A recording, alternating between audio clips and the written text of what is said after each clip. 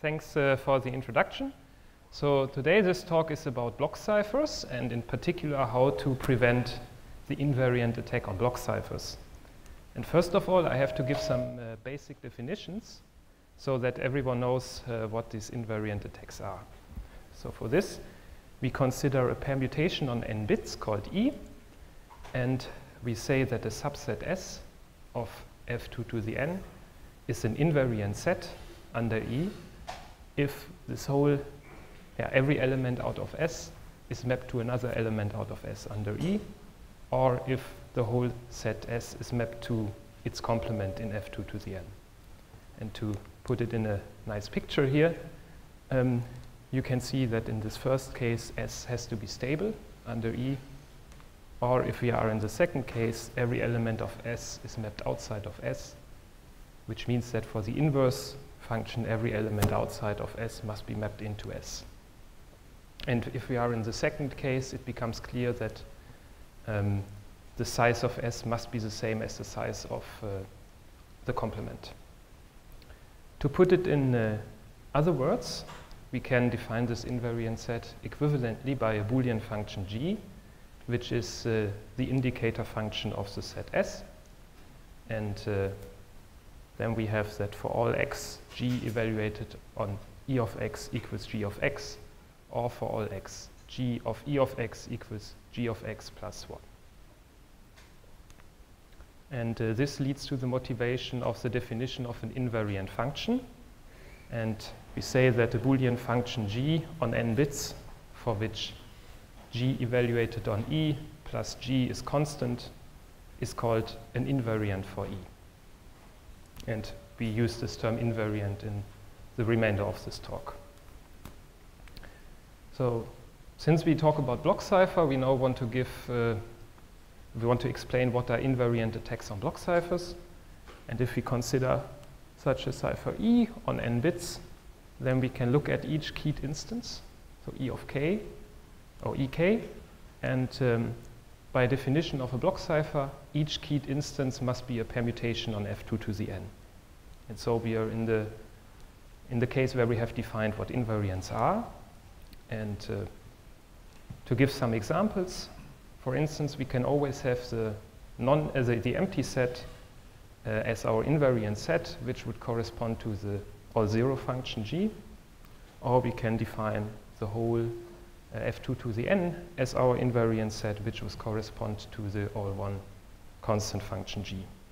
And we will call these invariants the trivial invariants.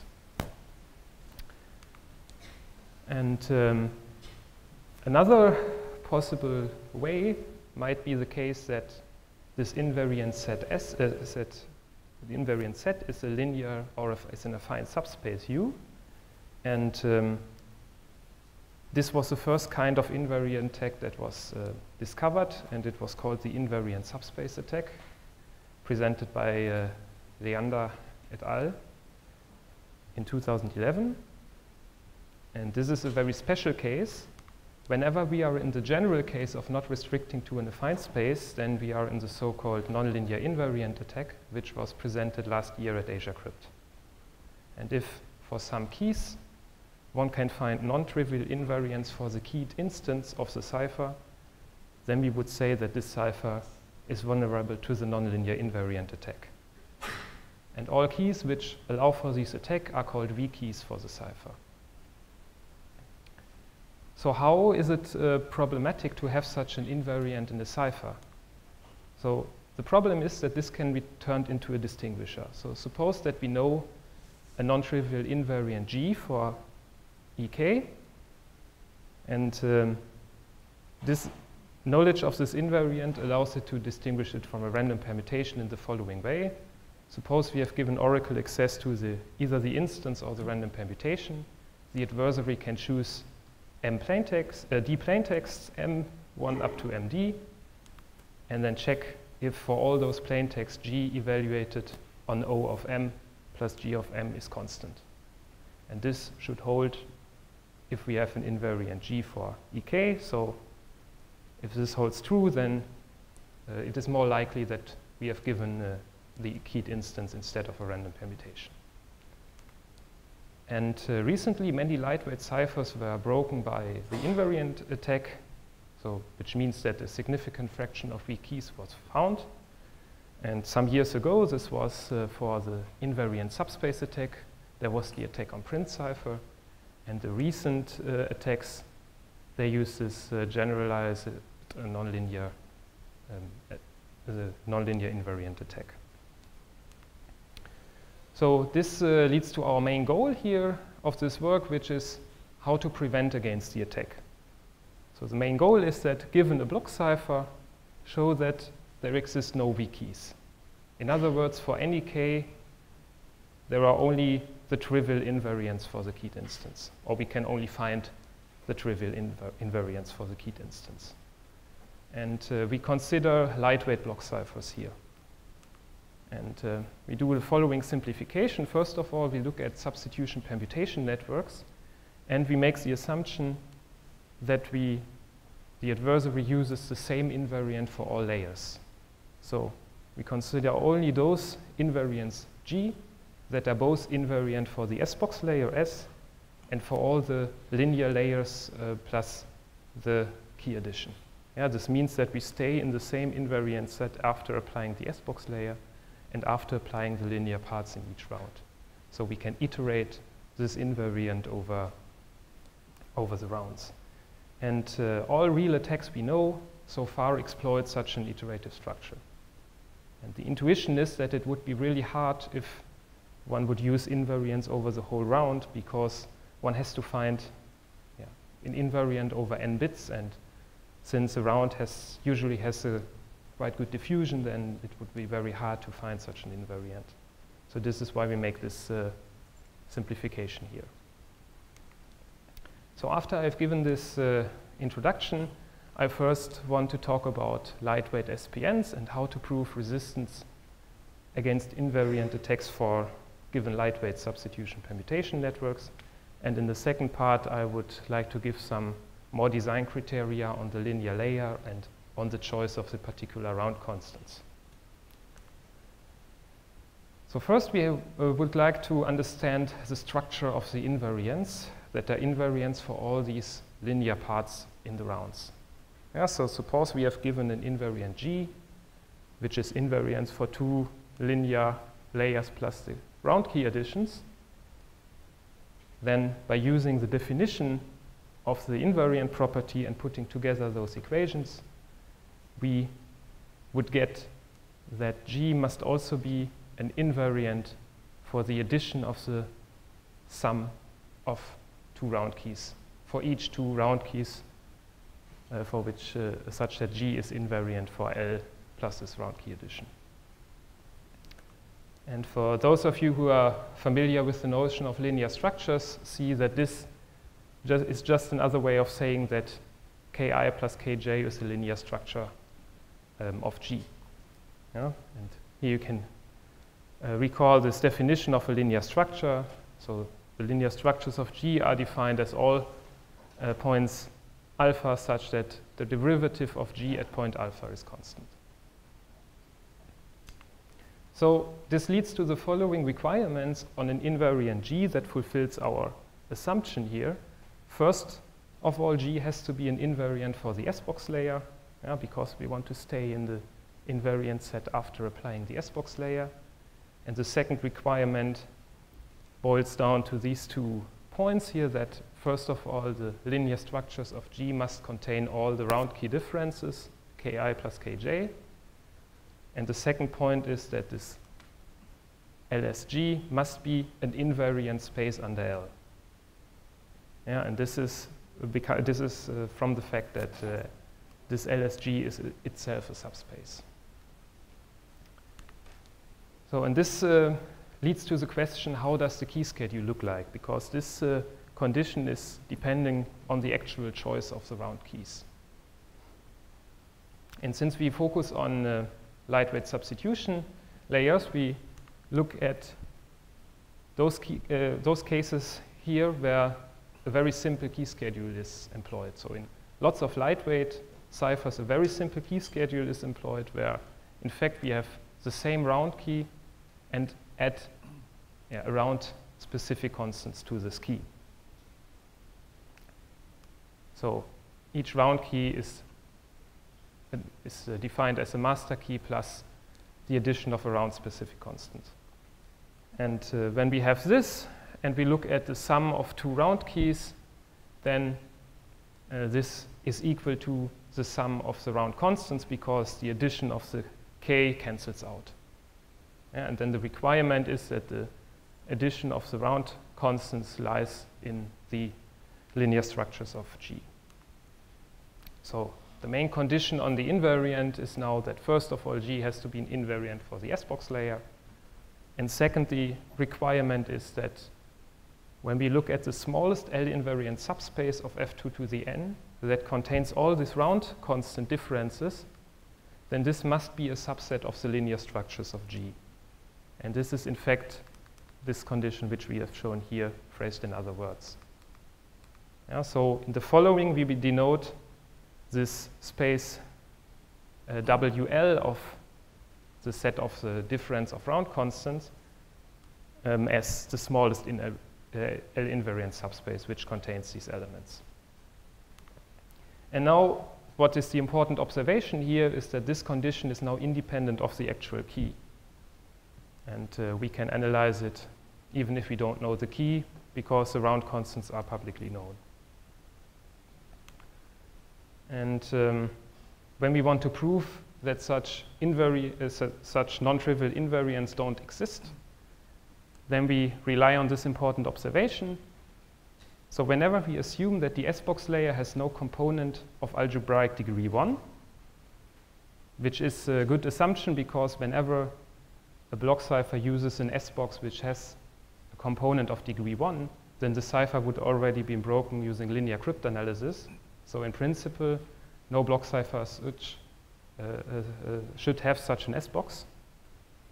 And whenever this is true, then if we can show that the dimension of the smallest L invariant subspace containing the difference of the round constants is greater or equal to n minus 1, where n is the block length, then there are only the trivial invariants that fulfill these two main requirements. Why is this the case? So if the dimension of this WL space is greater or equal to n minus 1, then the dimension of the linear structures of G must also be greater or equal to n minus 1 because the WL space is a subset of LSG. But then this means that G is linear or affine because we know that whenever the linear the structures of G are at least 2 to the n minus 1 elements, then the function itself must have degree 1. And since we know that the S-box layer does not have a linear or affine component, this, this means that G must be trivial because otherwise G cannot be invariant for the S-box layer. And this means that whenever the dimension of the WL space is greater or equal to n minus 1, the invariant attack does not apply. And this holds for any reasonable choice of the S-box layer. So this is independent of the S-box. The only thing we have to require is that um, we don't have a component of algebraic degree 1. And now we look at uh, some block ciphers. So first of all, we looked at Skinny 64 and computed this L invariant subspace. And we found out that the dimension of this is 64 and the block length is also 64. So by this observation here, the attack does not apply. If we look at Prince, then we see that the dimension is uh, only 56, so the dimension is too low. For Mantis uh, 7, which is a lightweight tweakable version of Prince, this um, dimension is even lower. And for Midori 64, this dimension is yeah, even more lower. It's just uh, dimension 16. And yeah, too low. So does it mean we cannot say anything here? So we can say if we use additional properties of the S-box layer. Yeah, so using the fact that the dimension is not too low here and considering the actual choice of the S-box, we can, we're still able to prove that in Prince and Mantis 7 the attack does not apply. And now this is not uh, any more independent of the choice of the S-box. For Midori 64, the dimension is just too low and we were not able to prove any resistance here, which should not be possible because Midori 64 is broken by a nonlinear invariant attack. Okay, so this was the part on uh, the first part on how to prove the resistance.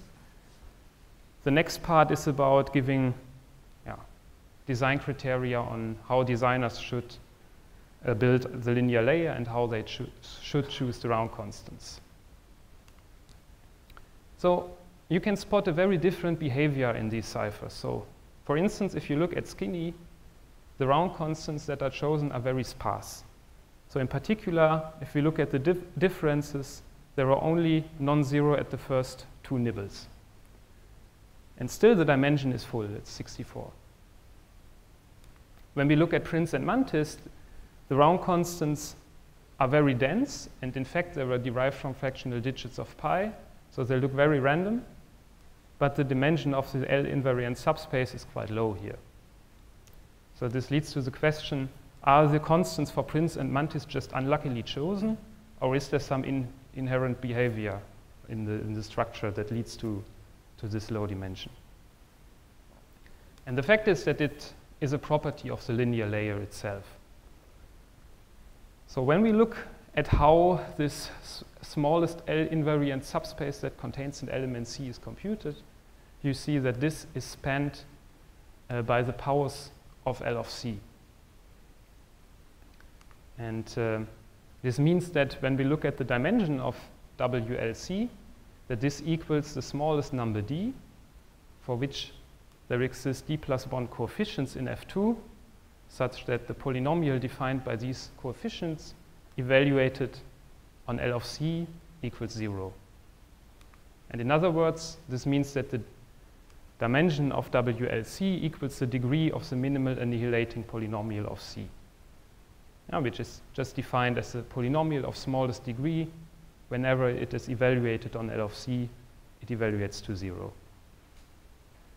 And this leads to the first important theorem is there exists a C such that dimension of WLC equals a number D if and only if a D is the degree of the divisor of the minimal polynomial of L. Yeah, because the minimal annihilating polynomial of any element is always a divisor of the minimal polynomial of the linear layer. And uh, from this, it immediately follows that the maximal dimension we can get for one constant c is the degree of the minimal polynomial of the linear layer. So we have a natural restriction depending on, um, on the given linear layer, how much this uh, dimension can be. So now if you look at some examples, for Skinny, the minimal polynomial has degree 16, and it splits in, uh, in x plus 1 to the power of 16. And so it follows that there always exists a constant c such that the smallest L invariant subspace containing c can take dimensions from 1 up to 16. For Prince, the minimal polynomial splits into these factors, and the degree of the minimal polynomial equals 20. So there exists a constant c such that the dimension of the subspace equals at most, so at 20, and it cannot be more than 20, but you can, in principle, have any dimension up to 20. For Mantis and Midori, the minimal polynomial only has degree 6, so that means you cannot get a dimension higher than 6. And this is why you need, um, why this dimension is, is lower for Mantis and Midori. So now we want to consider more round constants here. And uh, first of all, what is, um, yeah, what is uh, important here is that we now use uh, some linear algebra um, to express this dimension in the general case. So first, whenever we have the degree of the minimal polynomial equal to n, we know that there exists a basis such that the matrix of L is equal to the companion matrix of the minimal polynomial. Where the companion matrix is defined here, depending on the coefficients of the polynomial. And in general, using linear algebra, um, there always exists a basis such that the matrix of L decomposes into a block diagonal matrix of companion matrices of polynomials q1 up to qr. And um, these polynomials can be ordered in a way that qr divides qr minus 1, divides qr minus 2, and so on, till it divides q1, which is equal to the minimal polynomial of L.